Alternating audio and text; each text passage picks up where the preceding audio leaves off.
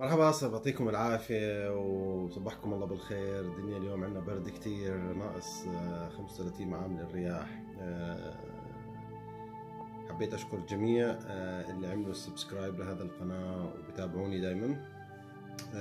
اليوم بنحكي عن كتاب اسمه Free to Learn هذا الكتاب آه، بالعربي ممكن تترجمه التعلم بطريقة اللعب.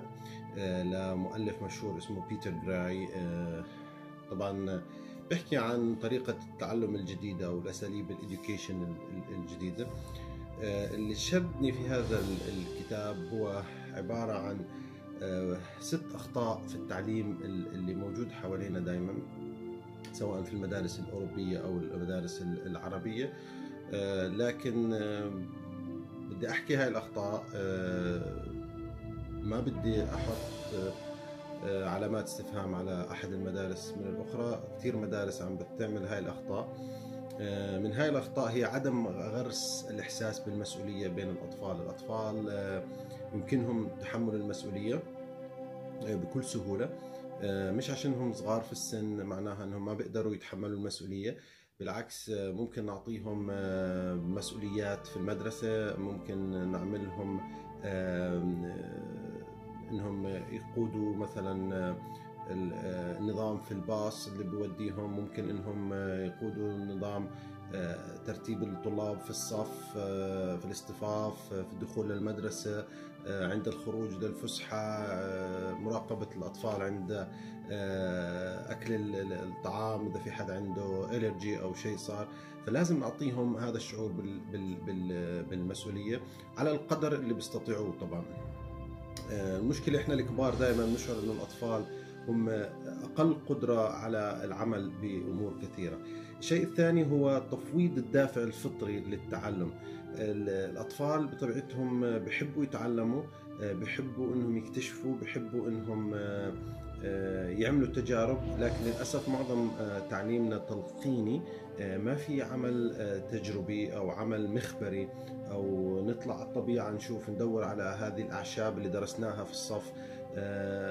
كل هذه الأمور آه، مفروض إنها تدفع الم- المعلمين آه، إلى دفع هذه الف- الفطرة الداخلية اللي موجودة عندهم. لما إحنا نكبر أصلا بتموت هاي الفطرة فينا لأنها قتلت خلال التعليم السابق.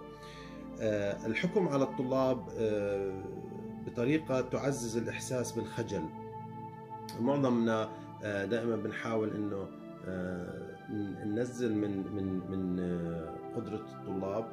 آه، ما تقدر تحكي لأنه في واحد كبير بيحكي. لا إذا هو بيقدر يحكي. سيدنا علي رضي الله عنه كرم الله وجهه.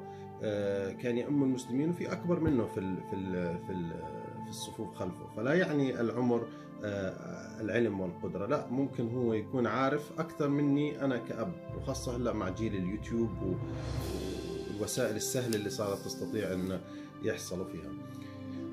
عدم تعزيز التعاون. آه، هاي مشكلة كبيرة. ال teamwork شيء مهم جدا. آه، معظم مدارسنا بتعتمد على الانفرادية. في بدي أحكي لكم قصة صارت مع ابني في المدرسة. آه، إجا ابني منزعج لأنه حطوه في project مع طلاب آه، ما بحبهم. فرحنا على المعلمة نسألها. فبتقول إحنا in purpose يعني آه، آه، متعمدين ذلك. بنشوف الطلاب اللي ما بيقدروا يتماشوا معهم. وبنحطهم مع بعض في group واحد. مش الطلاب اللي بتماشوا معهم أو أصدقائهم. ليش؟ عشان نفهمهم إنه الهدف السامي اللي هو ال project هذا اللي لازم تخلصوه هو المهم مش العلاقات الشخصية. وهذا بالعكس بقويهم وممكن إنه يسويهم أصحاب بعد فترة آه، لأنهم بصيروا هذا. وطبعا هذا بخفف من شيء مهم جدا في المدارس اللي هو البولينج أو السخرية من الأطفال اللي قد تؤدي في كثير من الأحيان إلى آه، عواقب وخيمة. في أطفال كتير بينتحروا في أطفال كتير آه، بيحبطوا بصير عندهم مشاكل نفسية من وراء السخرية من الأطفال الثانيين. فلازم نحارب هذه آه، ال- ال- ال- النقطة. النقطة الخامسة وهي قبل الأخيرة اللي عدم آه، تنمية آه، آه، حس النقد.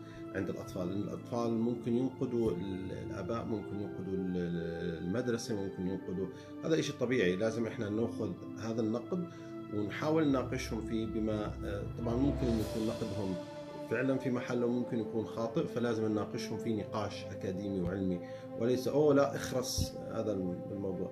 وطبعا عدم تنمية المهارات والمعارف هاي مشكلة كبيرة إنه عندنا كتب أو كريكولمز موجودة آه، يتبعها المدرس وهذا شيء جيد لأنها ممنهجة ومدروسة ولكن يجب تنمية هاي المعارف. الآن التكنولوجيا آه، صارت آه، بيد جميع الطلاب تقريبا وهذا بيؤدي إنه يعرفوا أكثر منا في أشياء كثيرة.